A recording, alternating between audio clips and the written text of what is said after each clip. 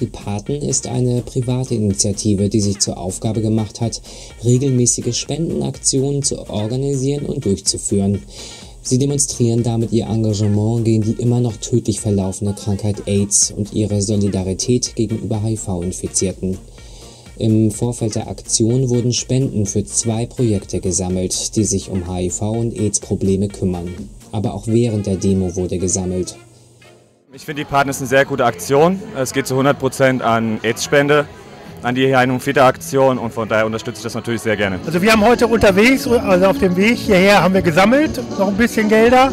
Das machen wir eigentlich das ganze Jahr über, dass wir äh, Gelder sammeln für AIDS-Projekte. Und ich finde es eigentlich wichtig, dass eben auch Organisationen unterstützt werden in dem Bereich, die sonst nicht so viel Gelder kriegen. Also es gibt ja welche, irgendwie, die kriegen immer irgendwie durch große Spendenaktionen relativ viel Geld. Es reicht immer hinten und vorne nicht, aber es gibt ganz viele kleine, irgendwie so wie die AIDS-Seelsorge oder so, die wirklich auf Spenden angewiesen sind. Und ich finde, das ist wichtig, dass man da auch was macht.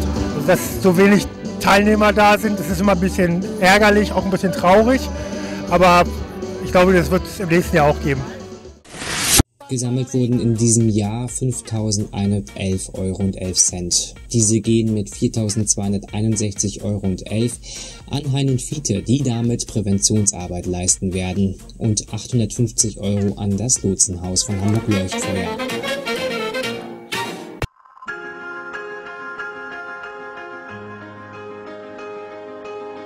Zum Netzwerk von Hamburg Leuchtfeuer gehören das bekannte Hospiz, die psychosoziale Betreuung von Menschen mit HIV und AIDS und seit drei Jahren auch das Lotsenhaus. Jeden Tag zu jeder Zeit einfach alles zu geben.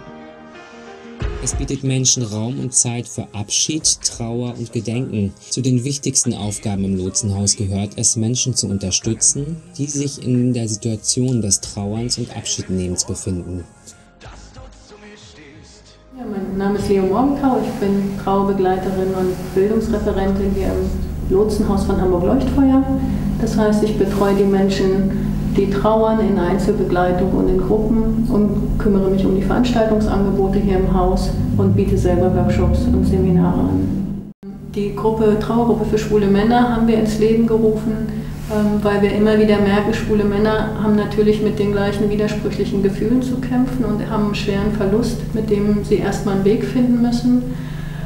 Durch gesellschaftliche Ausgrenzung, durch ähm, rechtliche Bestimmungen, teilweise auch durch, den eigenen, durch die eigene Lebenswelt, äh, gibt es aber für schwule Männer immer noch mal eine besondere Situation. In der Gesellschaft, ähm, in der wir heute leben, sind trauernde Menschen kaum sichtbar. Trauerflor, schwarze Kleidung, das ist kein eindeutiges Erkennungsmerkmal mehr und da macht auch die schwul-lesbische Szene keinen Unterschied. Und ähm, dass es ein Versuch ist, da einen Raum zu schaffen, wo man mit seiner Trauer gut sein kann, wo man einen eigenen Ausdruck finden kann für Trauer und wo man auch in einer Lebenszeit, die von großen Gefühlsschwankungen ähm, geprägt ist, in ein Netzwerk getragen ist, was unterstützt. Der frühzeitige Umgang mit Trauer und Abschied. Um diese Themen in das Leben zu integrieren, ist ein Ziel des Lotsenhauses. Es ermutigt Menschen, ihren Weg im Umgang mit Verlust zu finden und unterstützt und stärkt sie, das eigene Leben wieder ins Lot zu bringen. Und das zum Beispiel durch offene Sprechzeiten, Einzelberatung, Trauerbegleitung, Krisengespräche, Gesprächsforen und Workshops. Die hauptamtlich und ehrenamtlich arbeitenden Lotsen bieten sich als Begleitende auf diesem Weg an und stärken und ermutigen Menschen, die sich in diesem Prozess des Abschieds und des Gedenkens befinden. Ich glaube, ich würde mir an vielen Stellen von allen Beteiligten, also da kann ich mich gar nicht ausnehmen, äh, wünschen, dass wir alle, die wir mit trauernden Menschen zu tun haben, vielleicht als erstes unsere Augen und unser Herz öffnen und alle guten Ratschläge und alle Verhaltensregeln und alle Vorstellungen, wie man zu trauern hat, einfach mal über Bord kippen. Im Gegensatz zu allem, was man hier draußen spüren kann, äh, ist die Atmosphäre im Lotsenhaus vom Hamburg Leuchtfeuer ruhig. Das ist das, was sich in meinem Gedächtnis festgebrannt hat. Trotzdem wirkt es nicht traurig, sondern man fühlt sich geborgen. Sehr wichtig für alle, die Abschied nehmen möchten in den Räumlichkeiten des Lotsenhauses. Diese Geborgenheit, die man spüren kann, die wird ausgestrahlt unter anderem auch durch die professionellen Mitarbeiter, die im Lotsenhaus beschäftigt sind.